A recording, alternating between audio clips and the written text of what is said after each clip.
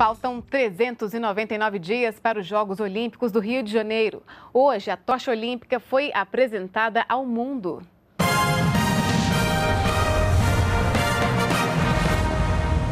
Um dos símbolos mais tradicionais das Olimpíadas, a tocha vai ser acesa no ano que vem e vai percorrer várias cidades do país. Branca e cheia de curvas, com detalhes e cores que expressam a natureza exuberante do Brasil. Essa é a tocha olímpica Rio 2016, apresentada pouco mais de um ano antes do início dos Jogos. Minha vida é andar por esse país, país, país. Essa tocha, ela entra para a história com muita força, muita energia, muita representação dos grandes signos da cidade do Rio de Janeiro e do Brasil? Ela é mais brasileira, com certeza, por ser nossa e por ela é, ter esse, esse, esse, essas cores nossas, né? É, ela tem um design lindo, dizer, ela é leve, ela é clean, é, e tenho certeza que vai carregar toda essa esperança, essa esperança, essa motivação toda que o povo brasileiro tem de natural. Então, com certeza é mais bonita.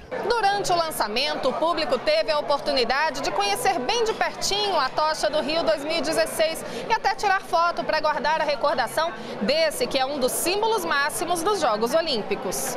No ano que vem, o tradicional revezamento da tocha vai percorrer 20 mil quilômetros de norte a sul do país durante os 100 dias que antecedem o início dos Jogos no Rio.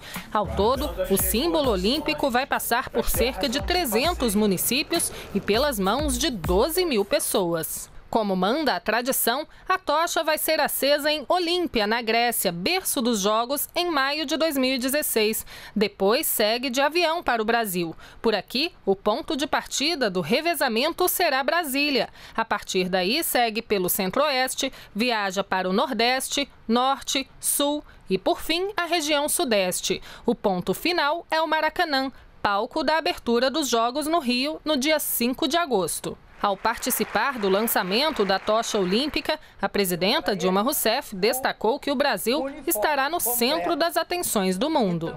Estamos confiantes que nós vamos nós vamos responder à altura o desafio que nós recebemos.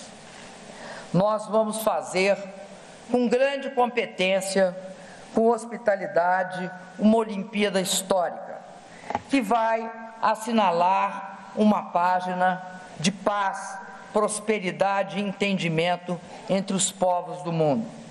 E também uma página muito importante na história do nosso povo. A presidenta também anunciou que no mês que vem estão previstos 45 eventos teste nas instalações que vão receber os Jogos. E o ministro do Esporte fez um balanço das obras. As obras estão boas, estão dentro de um cronograma. Nós temos algumas, inclusive, já bem avançadas no nível de maturidade delas. Ou seja, o Rio ganha um grande legado, um grande legado material e esses equipamentos, muitos deles ficarão de, uma, de forma definitiva, o que vai fazer do Rio, portanto, uma cidade que vai ter tudo que há de mais moderno para não somente para a iniciação esportiva, mas para os atletas de alto rendimento.